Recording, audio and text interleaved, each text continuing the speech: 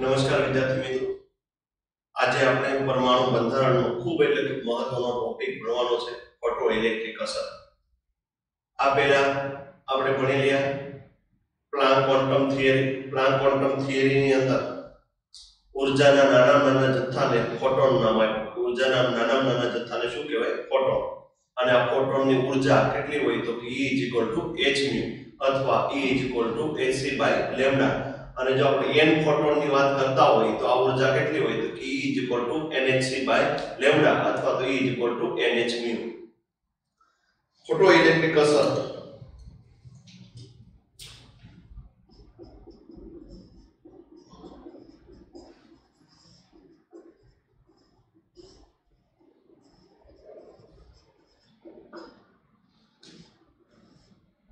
આપણે એનસીઆરટી પ્રમાણે photo electric અસરની વાત કરવી હોય, તો એનસીઆરટી ની અંદર ટૂંકમાં એક વ્યાખ્યા આપેલી છે કે ધાતુની સપાટી પર ફોટોન આપાત કરવામાં આવે.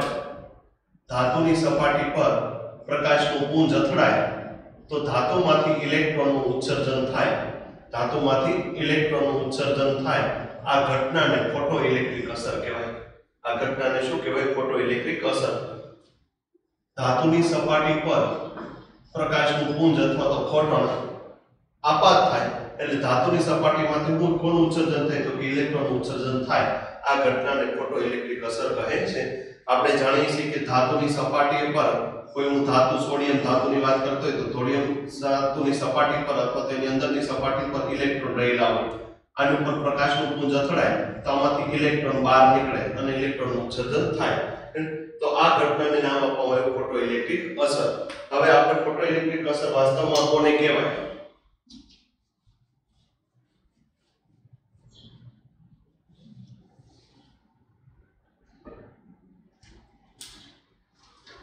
કોઈ આપણે ધાતુ લઈ, સોડિયમ, પોટેશિયમ, સીઝિયમ રુબેરિયમ કોઈ પણ ધાતુ આ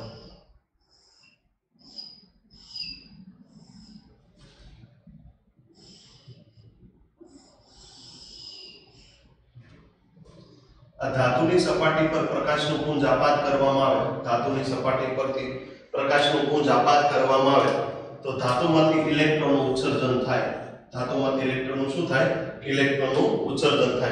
આ ઇલેક્ટ્રોનનું ઉત્સર્જન થયા પછી ઇલેક્ટ્રોન ગતિ કરે કયા તરફ ગતિ કરશે? તો કે ઇલેક્ટ્રોન કેથોડથી એનોડ તરફ ગતિ કરશે. ઇલેક્ટ્રોન કેથોડથી એનોડ તરફ ગતિ કરે.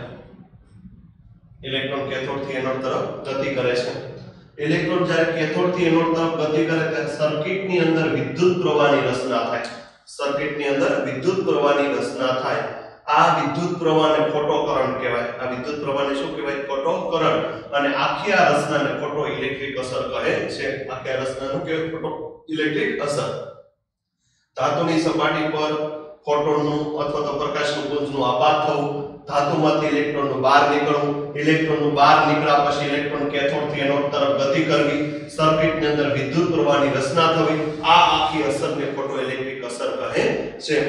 આ જે ધાતુ આપણે લીધેલી છે, આ ધાતુને ફોટો સેન્સિટિવ ધાતુ કહેવાય. આ ધાતુને કેવી ધાતુ કહેવાય?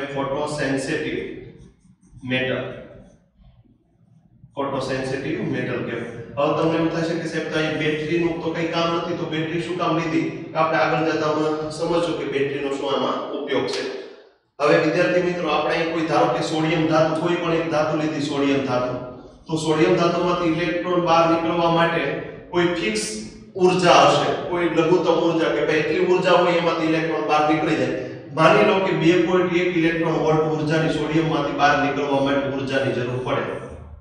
સોડિયમમાંથી ઇલેક્ટ્રોનને બહાર નીકળવા માટે 2.1 ઇલેક્ટ્રોન વોલ્ટ ઊર્જાની જરૂર પડે, તો ફોટોન પાસે ધારો કે એક ફોટોન અહીં આપાત થાય, એની પાસે 2 ઇલેક્ટ્રોન વોલ્ટ જ ઊર્જા છે. તો 2 ઇલેક્ટ્રોન વોલ્ટ ધરાવતો ફોટોન અહીં ધાતુ પર આપાત થાય તો ઇલેક્ટ્રોન ઉત્સર્જન થવાનું નથી. પણ માની લો કે જે ફોટોન આપાત થાય છે ફોટોન પાસે 3 ઇલેક્ટ્રોન વોલ્ટ જેટલી ઊર્જા છે. કેટલી ઊર્જા છે? 3 ઇલેક્ટ્રોન વોલ્ટ જેટલી ઊર્જા છે. તો 3 ઇલેક્ટ્રોન વોલ્ટ ઊર્જા ધરાવતો ફોટોન અહીં ધાતુ પર આપાત થાય તો ધાતુમાંથી ઇલેક્ટ્રોનનું ઉત્સર્જન થશે. પણ ધાતુમાંથી ઇલેક્ટ્રોનનું ઉત્સર્જન થવા માટે કેટલી ઉર્જાની જરૂર પડે? તો કે 2.1 ઇલેક્ટ્રોન વોલ્ટ ઉર્જાની જરૂર પડે. ફોટોન પાસે કેટલી ઊર્જા છે તો કે 3 ઇલેક્ટ્રોન વોલ્ટ. તો 2.1 ઇલેક્ટ્રોન વોલ્ટ ઊર્જા જે છે, એ તો ધાતુમાંથી ઇલેક્ટ્રોનને બહાર નીકળવા માટે વપરાય છે. વધારાની 0.9 ઇલેક્ટ્રોન વોલ્ટ ઊર્જા છે. 0.9 ઇલેક્ટ્રોન વોલ્ટ ઊર્જા. આ ઇલેક્ટ્રોન મેળવી અને ગતિ કરશે. આ ઇલેક્ટ્રોનની ગતિ ઊર્જા કહેવાય. આ ઇલેક્ટ્રોનની શું કહેવાય? ગતિ ઊર્જા. તો જે ફોટોન આપાત કરવામાં આવે ધાતુ પર, જે ફોટોન ધાતુ પર આપાત કરવામાં આવે ફોટોનની ઉર્જાથી બે ભાગમાં વિભાજિત થાય. કયા બે ભાગમાં વિભાજિત થાય? તો કે પેલો ભાગી કે ધાતુમાંથી ઇલેક્ટ્રોનનું ઉત્સર્જન કરવા માટે વપરાય. પેલો ભાગ છે કે ધાતુમાંથી ઇલેક્ટ્રોનનું ઉત્સર્જન કરવામાં વપરાય. અને બીજું ઇલેક્ટ્રોન ગતિ ઊર્જા સ્વરૂપે મેળવે બીજી વધારાની ઊર્જા છે ઇલેક્ટ્રોન ગતિ ઊર્જા સ્વરૂપે મેળવે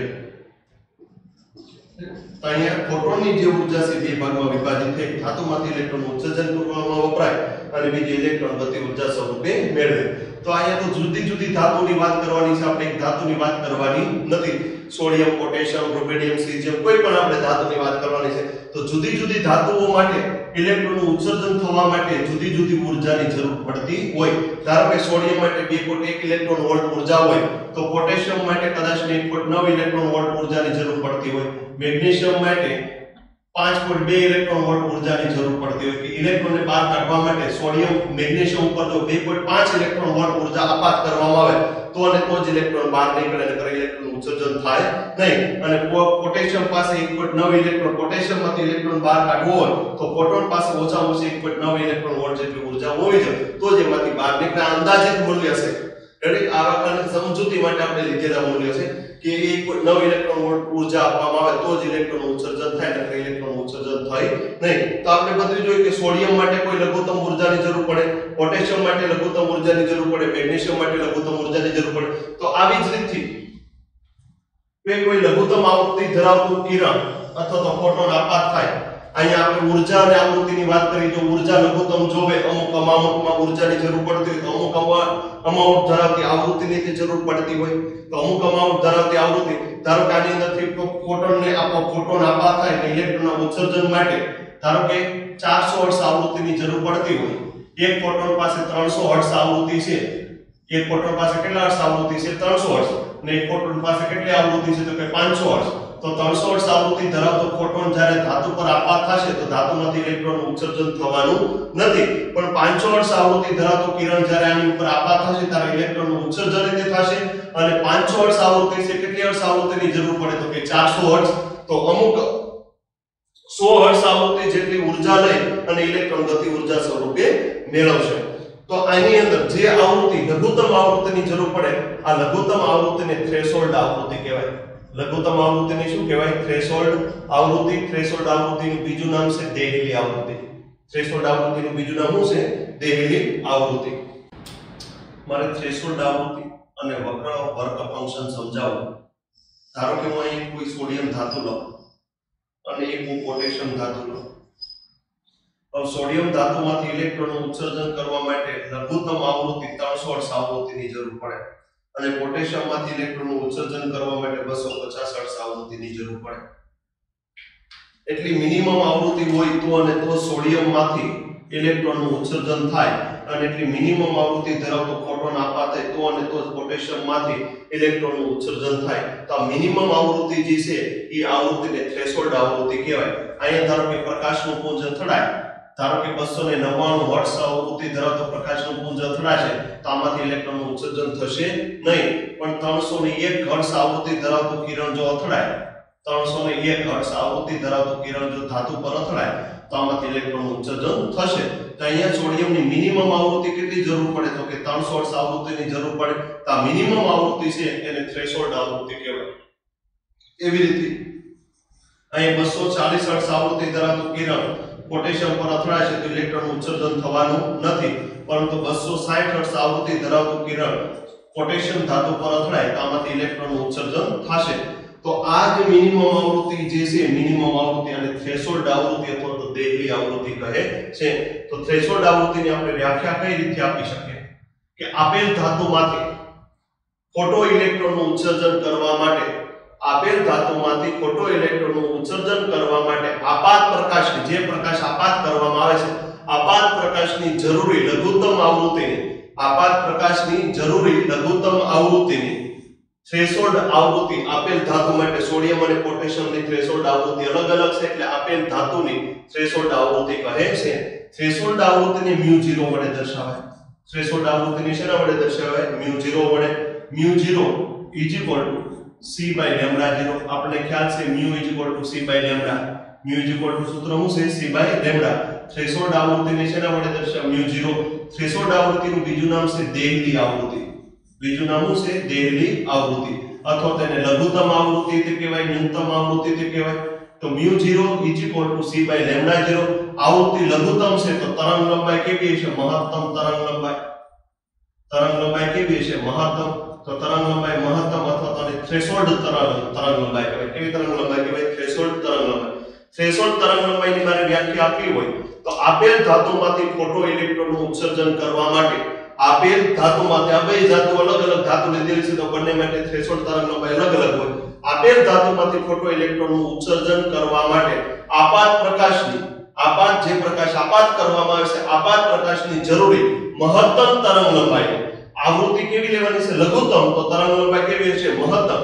મહત્તમ તરંગ લંબાઈને આપેલ ધાતુની થ્રેશોલ્ડ તરંગ લંબાઈ અથવા તો મહત્તમ તરંગ લંબાઈ કહે છે. તો આપણે થ્રેશોલ્ડ તરંગ લંબાઈ કોને કહેવાય? આપણે જોઈ કે ભાઈ થ્રેશોલ્ડ તરંગ લંબાઈ અને થ્રેશોલ્ડ આવૃત્તિ. હવે આપણે જોવાનું છે વર્ક ફંક્શન. વર્ક ફંક્શન કોને કહેવાય? ફરીથી ધારો કે ભાઈ એક ધાતુનો સોડિયમ અને એક ધાતુનો પોટેશિયમ.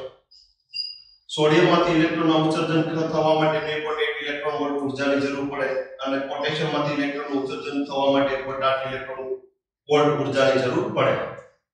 પ્રકાશનું ફોટોન અહીં આપાત થાય, એની પાસે 2 ઇલેક્ટ્રોન વોલ્ટ જેટલી ઊર્જા છે 2.8 ઇલેક્ટ્રોન 2 ઇલેક્ટ્રોન વોલ્ટ જેટલી ઊર્જા સોડિયમ ધાતુ પર આપાત કરવામાં આવશે, તો ઇલેક્ટ્રોન ઉત્સર્જન થવાનું નથી. પરંતુ, ધારો કે 3 ઇલેક્ટ્રોન વોલ્ટ જેટલી ઊર્જા આપાત થાય, તો ઇલેક્ટ્રોન શું થશે? ઉત્સર્જન. સોડિયમમાંથી ઇલેક્ટ્રોન બહાર કાઢવા માટે લઘુત્તમ કેટલી ઊર્જાની જરૂર પડે તો 2.1 ઇલેક્ટ્રોન વોલ્ટ ઊર્જાની ફોટોન પાસે કેટલી ઊર્જા છે તો કે 3 3 ઇલેક્ટ્રોન વોલ્ટ ઊર્જા તો બીજી વધારાના એમાંથી ઇલેક્ટ્રોનનું ઉત્સર્જન થશે, પણ સાથે સાથે 0.9 ઇલેક્ટ્રોન વોલ્ટ જેટલી ઊર્જા વધી રહેશે આ ઊર્જા પોટેશિયમ ધાતુની કાઇનેટિક એનર્જી ઇલેક્ટ્રોનની ગતિ ઊર્જા કહેવાય. સોડિયમ ધાતુમાં જે ઇલેક્ટ્રોનનું ઉત્સર્જન થાય છે, આ ઇલેક્ટ્રોનની શું કહેવાય? ગતિ ઊર્જા. હવે ધારો કે પોટેશિયમમાંથી ઇલેક્ટ્રોનનું ઉત્સર્જન થવા માટે કેટલી ઊર્જાની જરૂર પડે? તો કે 1.8 ઇલેક્ટ્રોન વોલ્ટ એટલી લઘુત્તમ ઊર્જા હોવી જોઈએ. જે પ્રકાશનું ફોટોન આપાત થાય છે, એની પાસે ઊર્જા કેટલી છે? 1.5 ઇલેક્ટ્રોન વોલ્ટ તો આમાંથી ઇલેક્ટ્રોનનું ઉત્સર્જન થવાનું નથી. પરંતુ ધારો કે 4 ઇલેક્ટ્રોન વોલ્ટ જેટલી ઊર્જા આપાત કરવામાં આવે 4 ઇલેક્ટ્રોન વોલ્ટ જેટલી ઊર્જા આપાત કરવામાં આવે, તો તમને એમ થાય છે તો આમાંથી તો 2 ઇલેક્ટ્રોનનું ઉત્સર્જન થવું જોઈએ. બે ઇલેક્ટ્રોનનું ઉત્સર્જન નહીં થાય, એક ફોટોન આપવા થાય તો એક જ ઇલેક્ટ્રોનનું ઉત્સર્જન થાય. કારણ કે અહીંયા એક ઇલેક્ટ્રોનના ઉત્સર્જન માટે કેટલા ઇલેક્ટ્રોન વોલ્ટની જરૂર પડે? તો કે 1.8 તો આની પાસે કેટલી છે? 4 તો 4 ઇલેક્ટ્રોન વોલ્ટ જેટલી ઊર્જા આપવા થાય તો 4 1.8 1.8 3.4 તો બે ઇલેક્ટ્રોનનું ઉત્સર્જન થવું જોઈએ. પણ ક્યારે એક ફોટોન આપાત થાય એટલે એક ઇલેક્ટ્રોનનું જ ઉત્સર્જન થશે, બે ઇલેક્ટ્રોનનું ઉત્સર્જન ક્યારે થવાનું નથી. તો આમાંથી એક ઇલેક્ટ્રોનનું ઉત્સર્જન થશે અને બીજી જે વધારાની ઊર્જા છે કેટલી છે તો કે 2.2 ઇલેક્ટ્રોન વોલ્ટ જેટલી ઊર્જા છે આ ઇલેક્ટ્રોન ગતિ ઊર્જા સ્વરૂપે મેળવશે. એક ઊર્જા ફોટોનની ઊર્જા ક્યાં વપરાય તો ઇલેક્ટ્રોનને આપાત કરવા માટે ઇલેક્ટ્રોન ઇલેક્ટ્રોનનું ઉત્સર્જન કરવા માટે અને બીજી ઊર્જા ક્યાં વપરાય? તો ઇલેક્ટ્રોનની ગતિ ઊર્જા સ્વરૂપે વપરાય. હવે આ બે ધાતુ માટે અમુક લઘુત્તમ ઉર્જાની જરૂર પડે. આ લઘુત્તમ ઉર્જાને ધાતુનું વર્ક ફંક્શન, ધાતુનું વર્ક ફંક્શન અથવા તો કાર્ય વિધેય કહેવાય. જે લઘુત્તમ ઉર્જાની જરૂર પડે, આ લઘુત્તમ ધાતુમાંથી ઇલેક્ટ્રોનને બહાર કાઢવા માટે જે લઘુત્તમ ઉર્જાની જરૂર પડે, એને ધાતુનું વર્ક ફંક્શન અથવા તો કાર્ય વિધેય કહે છે. તેની વ્યાખ્યા, ઇલેક્ટ્રોનને ધાતુની સપાટીમાંથી, ઇલેક્ટ્રોનને ધાતુની સપાટીમાંથી બહાર લાવવા માટે અમુક લઘુત્તમ ઉર્જાની જરૂર પડે છે. ઇલેક્ટ્રોનના ઉત્સર્જન માટે આપવી પડતી, ઇલેક્ટ્રોનને બહાર કાઢવા માટે ઉત્સર્જન કરવા માટે આપવી પડતી આ લઘુત્તમ ઉર્જાને આપેલ ધાતુની આપેલ ધાતુને કાર્ય વિધેય અથવા તો ધાતુનો વર્ક ફંક્શન કહે છે. ધાતુના વર્ક ફંક્શનને ફાઈ વડે દર્શાવાય. ધાતુના વર્ક ફંક્શનને શેના વડે દર્શાવાય? ફાઈ વડે દર્શાવાય. E 0 વડે દર્શાવાય. W વડે દર્શાવાય. આપણે અહીં બે નો ઉપયોગ કરશું કે ફાઈ નો ઉપયોગ કરશું કે e 0 નો ઉપયોગ કરશું? ધાતુના વર્ક ફંક્શનને કા ફાઈ વડે દર્શાવાય અથવા તો એ જીરો વડે દર્શાવાય? તો અહીં આપણે ત્રણ વ્યાખ્યાઓ મહત્વની ભણી ગયા. ત્રણ વ્યાખ્યાઓ કઈ કઈ? તો કે થ્રેશોલ્ડ આવૃત્તિ, ધાતુનું વર્ક ફંક્શન અને ત્રીજી વ્યાખ્યા આપણે ભણી ગયા થ્રેશોલ્ડ તરંગ હવે આપણે ફોટોઇલેક્ટ્રિક અસર પાછળથી છે ફોટોઇલેક્ટ્રિક અસર જોઈએ કે ફોટો ઇલેક્ટ્રિક અસર કોને કહેવાય? કોને કહેવાય? કે કોઈ ધાતુ છે? ધાતુ પર પ્રકાશનું પુંજ અથવા તો ફોટોન આપાત કરવામાં આવે. ધાતુ પર ફોટોન આપાત કરવામાં આવે. તો ફોટોન પાસે કેટલી ઊર્જા છે તો કે ફોટોન પાસે s mu જેટલી ઊર્જા છે કારણ કે ફોટોનની ઊર્જા કેટલી હોય E s mu ધાતુમાંથી ઇલેક્ટ્રોનને બહાર કાઢવા માટે કેટલી ઊર્જાની જરૂર પડે? તો કે 5 જેટલી ઊર્જાની જરૂર પડે. તો અહીંથી ઇલેક્ટ્રોન શું થશે? તો કે ઇલેક્ટ્રોન ઉત્સર્જન થશે. અને બાકી વધારાની ઇલેક્ટ્રોન ક્યાં ઊર્જા ક્યાં વપરાશે તો કે ઇલેક્ટ્રોનની ગતિ ઊર્જા સ્વરૂપે વપરાશે. કે જે ઊર્જાથી ઇલેક્ટ્રોન કેથોડથી એનોડ તરફ ગતિ કરશે.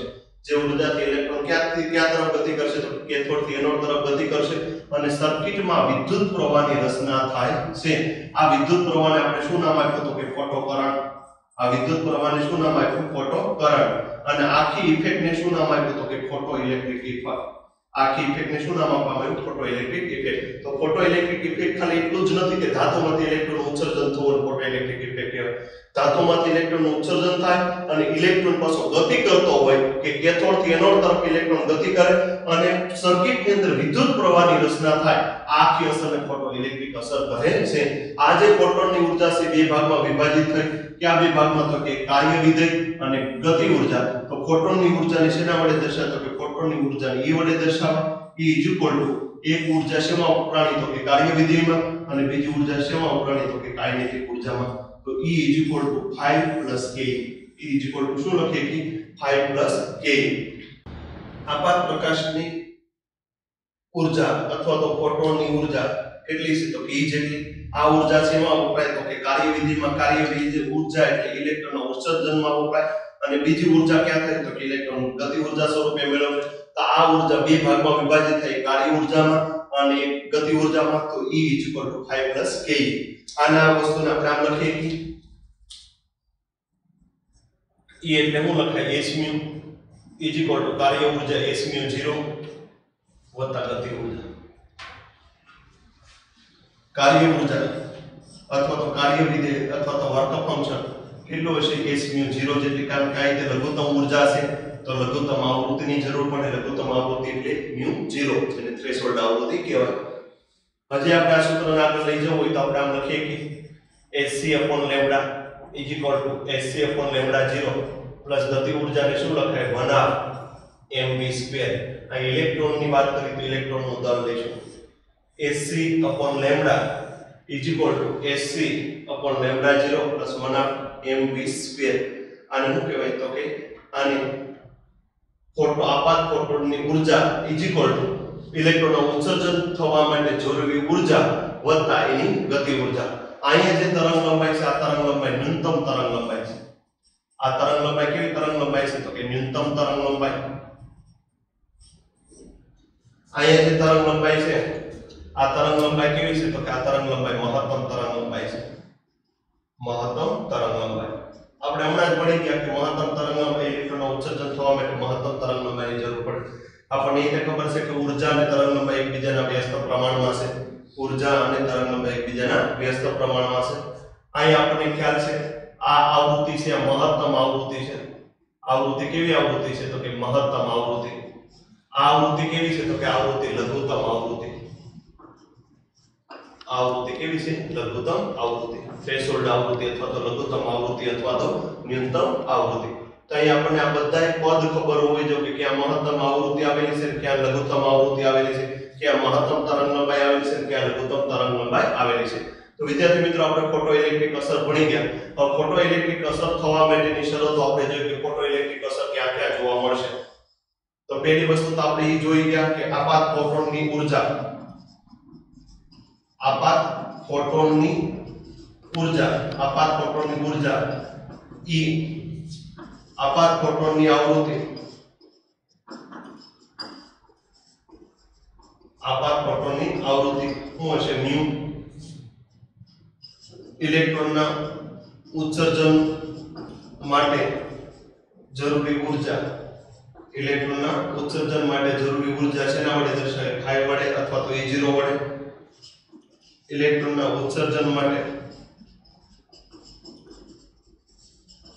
લઘુત્તમ આવૃત્તિ.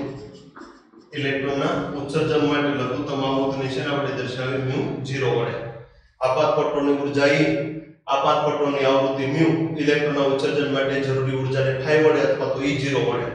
કાર્ય વિધેય અથવા વાર્તા ફંક્શન ફાઈ અથવા તો E0 વડે. અને ઇલેક્ટ્રોનના ઉત્સર્જન માટે લઘુત્તમ આવૃત્તિને શેના વડે દર્શાવી મ્યુ 0 વડે. તો ફોટો ઇલેક્ટ્રિક અસર ક્યારે જોવા મળશે? ફોટો ઇલેક્ટ્રિક અસર ક્યારે જોવા મળશે?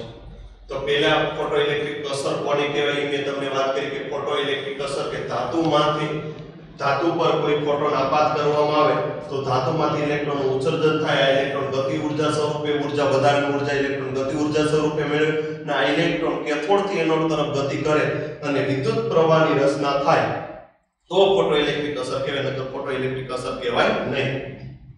તો પહેલી શરત આપણે જોઈ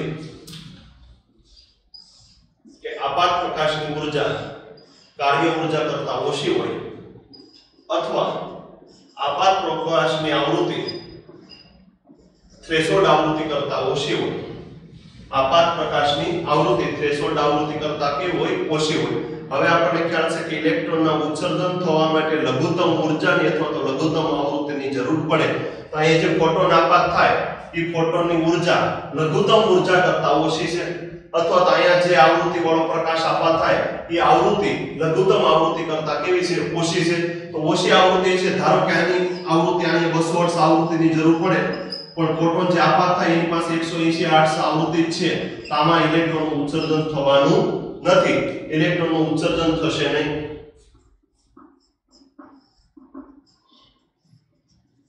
ઇલેક્ટ્રોનનું ઉત્સર્જન થશે નહીં. ઇલેક્ટ્રોનનું ઉત્સર્જન થાય નહીં તો ફોટો ઇલેક્ટ્રિક અસર જોવા મળે નહીં.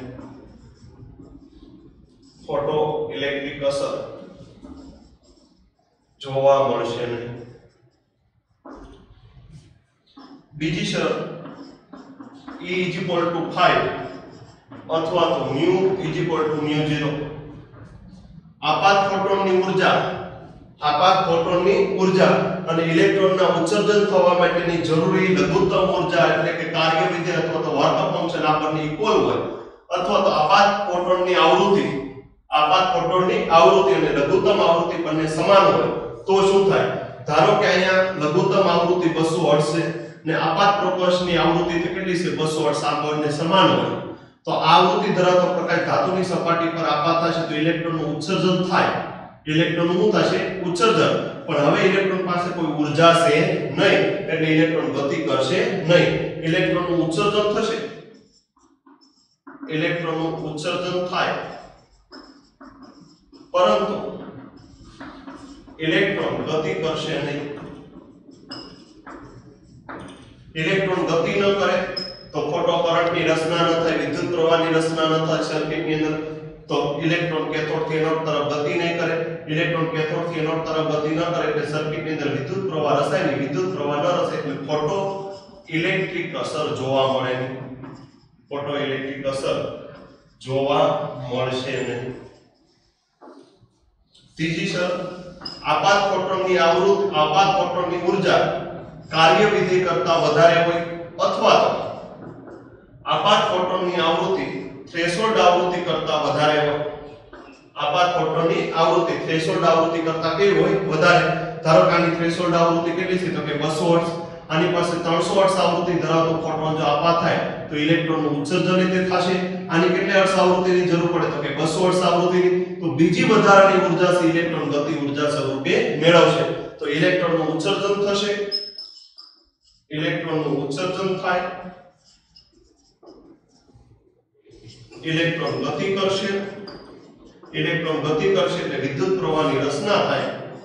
વિદ્યુત પ્રવાહની રચના થાય તો આખી રચનાને ફોટો ઇલેક્ટ્રિક અસર કહેવાય. તો ફોટો ઇલેક્ટ્રિક અસર જોવા મળશે. આપણી પાસે ત્રણ કન્ડિશન છે. ત્રણ કન્ડિશનમાં એક જ કન્ડિશન એવી છે કે જેમાં ફોટો ઇલેક્ટ્રિક અસર જોવા મળે. બાકીની બે પરિસ્થિતિમાં ફોટો ઇલેક્ટ્રિક અસર જોવા મળશે નહીં. તો વિદ્યાર્થી મિત્રો, આપણે આખી ફોટો ઇલેક્ટ્રિક અસર કોને કહેવાય? ફોટો ઇલેક્ટ્રિક અસરની અંદર આવતા તમામે તમામ પાસાઓ આપણે જોઈ લીધા કે આપાત ફોટોનની ઊર્જા આપાત ફોટોનની ઊર્જા બે ભાગમાં વિભાજિત થાય. એક કાર્ય વિધેયમાં અને ગતિ ઉર્જામાં. આ બે ભાગમાં વિભાજિત થઈ ઇક્વેશન ખૂબ એટલે ખૂબ મહત્વની એટલે કે is equal to to 5 ke અથવા એને શું કહેવાય તો કે S mu is equal to S mu 0 વત્તા કાઇનેટિક એનર્જી કાઇનેટિક એનર્જી એટલે ગતિ ઊર્જા. ગતિ ઊર્જા એટલે શું થાય? 1 half mv સ્ક્વેર આપણે લખ્યું mu એટલે c by lambda c upon lambda is equal to c by lambda 0 તો આ બધા સૂત્રો આપણે લખ્યા, એની આધારે ફોટો ઇલેક્ટ્રિક અસર ક્યારે જોવા મળશે? એ ત્રણ પરિસ્થિતિ તારવી ત્રણ પરિસ્થિતિમાં એક જ કન્ડિશન એવી છે કે જેમાં ફોટો ઇલેક્ટ્રિક અસર જોવા મળશે. બાકીની બે પરિસ્થિતિમાં ફોટો ઇલેક્ટ્રિક અસર જોવા મળશે નહીં. કેમ ન જોવા મળે? એ તમને આખા એક્ઝામ્પલો દ્વારા તમને સમજાવ્યું કે ભાઈ અમુક ધાતુની પાસે અમુક લઘુત્તમ ઊર્જા હોય, તો અને તો જ એમાંથી ઇલેક્ટ્રોનનું ઉત્સર્જન થશે, નકર ઇલેક્ટ્રોનનું ઉત્સર્જન થશે નહીં. તો ફોટોન પાસે લઘુત્તમ ઊર્જા હોય તો ઇલેક્ટ્રોનનું ઉત્સર્જન થાય, નકર ઇલેક્ટ્રોનનું ઉત્સર્જન થશે નહીં. હવે ઇલેક્ટ્રોનનું ઉત્સર્જન થાય તો પૂરતો નથી ફોટો ઇલેક્ટ્રિક અસર માટે. ઇલેક્ટ્રોનનું ઉત્સર્જન થાય, સાથે ઇલેક્ટ્રોન ગતિ કરે. ઇલેક્ટ્રોન ગતિ કરે, કેથોડથી એનોડ તરફ એટલે સર્કિટની અંદર વિદ્યુત પ્રવાહની રચના થાય. આખી રચનાને ફોટો ઇલેક્ટ્રિક અસર કહેવાય. તો ઇલેક્ટ્રોનના ઉત્સર્જન થવાથી ફોટો ઇલેક્ટ્રિક અસર કેવું? એવું ટૂંકમાં માનવું પોસિબલ નથી. અથવા તેવું કેવું શક્ય નથી. ફોટો ઇલેક્ટ્રિક અસર ત્યારે જોવા મળે કે જ્યારે ધાતુની સપાટી પર અમુક લઘુત્તમ આવૃત્તિ ધરાવતા ધાતુની સપાટી પર ફોટોન આપાત થાય, આ ફોટોન આપાત થવાથી ઇલેક્ટ્રોનનું ઉત્સર્જન થાય, આ ઇલેક્ટ્રોનનું ઉત્સર્જન થયા પછી ઇલેક્ટ્રોન કેથોડથી એનોડ તરફ ગતિ કરે અને આ ગતિ દરમિયાન તારની સર્કિટની અંદર વિદ્યુત પ્રવાહની રચના થાય, આ જે પ્રવાહ રચાય અને ફોટો કરંટ કહેવાય ને આખી આ અસરને ફોટો ઇલેક્ટ્રિક અસર કહે છે. તો આપણે ફોટો ઇલેક્ટ્રિક અસર આપણે વ્યવસ્થિત રીતે આખી ભણ્યા એની ત્રણે ત્રણ ઇક્વેશન ખૂબ એટલે ખૂબ મહત્વની છે. એક ઇક્વેશન ઉપરથી બીજી બીજી ઉપરથી ત્રીજી તમે આરામથી લખી શકો. આ ત્રણેયના પાસા મહત્તમ આવૃત્તિ, લઘુત્તમ આવૃત્તિ, ન્યૂનતમ તરંગ લંબાઈ મહત્તમ તરંગ લંબાઈ આ મહત્વનું છે. આને તો તમે સારી રીતે ઓળખતા થાવ. વ્યવસ્થિત રીતે આખો મુદ્દો, આખો જે આજનો ટોપિક છે, એ બેથી ત્રણ વખત રિવાઇઝ કરી અને વ્યવસ્થિત રીતે તમે ભણવાનો પ્રયત્ન કરજો, સમજવાનો પ્રયત્ન કરશો. ફોટો ઇલેક્ટ્રિક અસર આવ્યા પછી, હવે પછીના પોઈન્ટ છે એ તમે સમજી શકશો આપણે જે ફોટો ઇલેક્ટ્રિક અસર પહેલા એને લગતો એક દાખલો ન્યુમેરિકલ સોલ્વ કરી એટલે વધારે ખ્યાલ આવે. કે ચારસો નેનોમીટર ધરાવતું તરંગ લંબાઈ, ચારસો નેનોમીટર તરંગ લંબાઈ ધરાવતું ફોટોન ધાતુની સપાટી પર આપાત કરવામાં આવે તો નીચેનામાંથી કઈ ધાતુમાં ફોટો ઇલેક્ટ્રિક અસર જોવા મળશે એવું આપણને કીધું. તો wavelength of incident light in કેટલી આપેલી છે 400 nanometre then calculate the number of metal આમાંથી નીચેનામાંથી કેટલી ધાતુ which can show, show photoelectric અસર PhD નો મતલબ થાય છે photoelectric અસર from following data નીચેના જે ડેટા આપેલા છે એમાંથી કેટલી ધાતુ એટલી તરંગ લંબાઈ ધરાવતું ફોટોન આપાત કરવામાં આવે તો એની અંદર ફોટોઇલેક્ટ્રિક અસર જોવા મળશે. તરંગ લંબાઈ ઉપર ત્યાંની બધાની ઊર્જા આપેલી છે ઇલેક્ટ્રોન વોલ્ટમાં લિથિયમની કેટલી આપેલી છે? 3.7 ઇલેક્ટ્રોન આ જે ઊર્જા આપેલી છે કાર્ય વિધેય આપેલું છે વર્ક ફંક્શન આપેલી છે. એટલે લઘુત્તમ ઉર્જાની જરૂર પડે. આ લઘુત્તમ ઊર્જા આપી દીધી. કેટલી? લઘુત્તમ ઊર્જા ધરાવતું ફોટોન ધાતુ પર આપા થાય તો ઇલેક્ટ્રોનનું ઉત્સર્જન થાય. આપણે ભણી ગયા કે ઇલેક્ટ્રોનનું ઉત્સર્જન થવું જ ખાલી ફોટોઇલેક્ટ્રિક અસર નથી. પણ ઇલેક્ટ્રોનનું ઉત્સર્જન થવું સાથે સાથે ઇલેક્ટ્રોન કેથોડથી એનોડ તરફ ગતિ કરે. એને ફોટોઇલેક્ટ્રિક અસર કહેવાય. તો આની અંદર પહેલા જે તરંગ લંબાઈ આપેલી છે, આપણી પાસે સૂત્ર છે E is equal to 1240 electron volt nanometre ના છેદમાં E is equal to 1240 electron volt nanometre તરંગ લંબાઈ શેમાં આપેલી છે તો કે નેનોમીટરમાં કેટલી આપેલી છે 400 nanometre nanometre nanometre cancel 0 0 cancel 40 ભાગ્યા 124 એટલે 3.1 ઇલેક્ટ્રોન વોલ્ટ કેટલું વચ્ચે 3.1 ઇલેક્ટ્રોન વોલ્ટ તો અહીં આપાત ફોટોનની પાસે કેટલી ઊર્જા છે તો કે 3.1 ઇલેક્ટ્રોન વોલ્ટ જેટલી ઊર્જા છે લિથિયમમાંથી બહાર કાઢવા માટે કેટલાની જરૂર પડે? તો કે 3.7 તો આ ઊર્જા સફિશિયન્ટ નથી, એટલે ફોટોઇલેક્ટ્રિક અસર લિથિયમમાં જોવા મળશે નહીં. સોડિયમમાંથી ઇલેક્ટ્રોનનું ઉત્સર્જન થવા માટે કેટલી ઊર્જાની જરૂર પડે? તો કે 4.2 ઇલેક્ટ્રોન વોલ્ટ પણ આપાત ફોટોન પાસે કેટલી ઊર્જા છે? તો કે 3.1 તો આમાં જોવા મળશે નહીં. પોટેશિયમ પોટેશિયમ પાસે કેટલી ઊર્જા જોવે ઇલેક્ટ્રોનને બહાર કાઢવા માટે? તો કે 1.8 ઇલેક્ટ્રોન વોલ્ટ ઉર્જાની જરૂર પડે. આપાત ફોટોનની પાસે કેટલી ઊર્જા છે? 3.1 તો આ 3.1 વધારે છે. ઊર્જા આપાત કરવામાં ઇલેક્ટ્રોન ઉત્સર્જન થશે ઇલેક્ટ્રોન વધારે ઊર્જા, ગતિ ઊર્જા સ્વરૂપે મેળવશે એટલે પોટેશિયમમાં ફોટોઇલેક્ટ્રિક અસર જોવા મળશે. સીઝિયમ પાસે કેટલી ઊર્જા છે તો કે 0.9 ઇલેક્ટ્રોન વોલ્ટ ઊર્જા. આપાત પ્રોટોન પાસે કેટલી છે? 3.1 ઇલેક્ટ્રોન વોલ્ટ તો આપાત પ્રોટોનની ઊર્જા વધારે છે તો ફોટોઇલેક્ટ્રિક અસર જોવા મળશે. મેગ્નેશિયમમાં જોવા મળશે નહીં, કારણ કે મેગ્નેશિયમની લઘુત્તમ ઊર્જા કેટલી છે? 5.2 આપાત પ્રોટોન પાસે કેટલી ઊર્જા છે? 3.1 તો ફોટોઇલેક્ટ્રિક અસર જોવા મળશે નહીં. કેલ્શિયમની લઘુત્તમ ઊર્જા કેટલી છે? 3.1 આપાત ફોટોનિક પાસે કેટલી ઊર્જા છે? 3.1 આ ઇલેક્ટ્રોનનું ઉત્સર્જન થશે, પરંતુ ઇલેક્ટ્રોન ગતિ કરશે નહીં. તો ફોટોઇલેક્ટ્રિક અસર જોવા મળશે નહીં. તો પોટેશિયમ અને સીઝિયમની અંદર ફોટોઇલેક્ટ્રિક અસર જોવા મળશે. બાકીની પણ ધાતુમાં ફોટોઇલેક્ટ્રિક અસર જોવા મળશે નહીં. એટલે આપેલી બે ધાતુમાં ફોટોઇલેક્ટ્રિક અસર જોવા મળશે તો વિદ્યાર્થી મિત્રો મિત્રો, આપણે ફોટો ઇલેક્ટ્રિક અસર ભણી જાય. ફોટોઇલેક્ટ્રિક અસરને આધારે એક આપણે સારામાં સારું એક્ઝામ્પલ થકી આપણે ફોટોઇલેક્ટ્રિક અસર સમજીએ કે શેમાં ફોટોઇલેક્ટ્રિક અસર જોવા મળશે અને કઈ ધાતુમાં ફોટોઇલેક્ટ્રિક અસર જોવા મળશે નહીં. તો વિદ્યાર્થી મિત્રો, આજનો ટોપિક આપણે અહીં પૂરો કરીએ છીએ. વીડિયો લેક્ચર જોવા બદલ ધન્યવાદ. આભાર.